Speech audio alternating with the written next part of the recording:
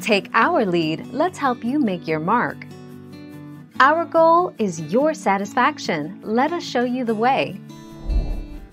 If you've inflated your tires to the proper air pressure, but the warning light stays on, you may have a leak or there's a problem with the TPMS in one or more of your tires. It's simple enough to check if there's a leak in a tire. Just use your tire gauge to recheck the air pressure in all your tires.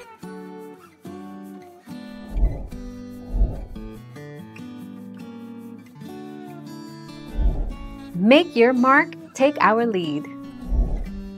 Without starting the car, turn the key to the on position. Press the TPMS reset button and hold it until the light blinks three times, then release it.